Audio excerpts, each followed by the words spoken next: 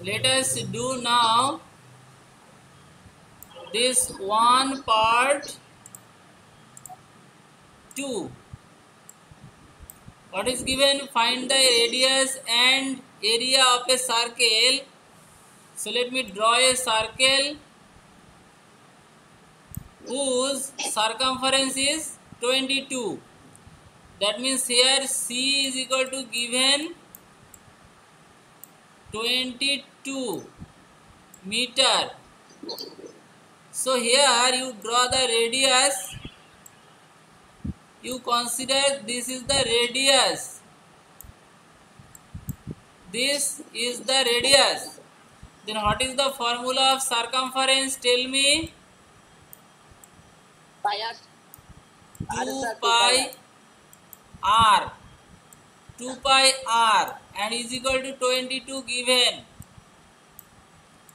Then what will be the value of r? r is equal to 22 by 2 pi 2 into pi. Okay pi. Here we have to write pi. But what is the value of pi? 22 by 7 by 7 I am taking here I am writing here. Then this 20, 20 22 22 cancel.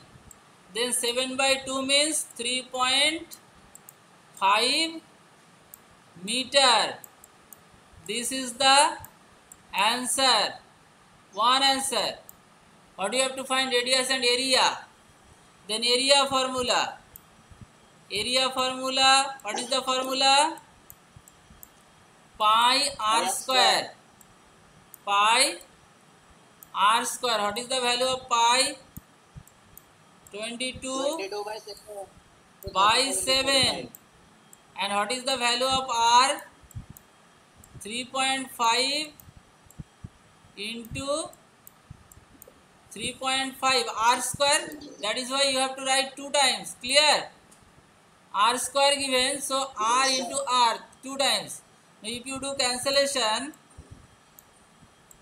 5.5 it will be now multiply 0.5 into 22 it will be 11 into 3.5 so you multiply and get answer don't keep here you continue the multiplication okay Okay, sir.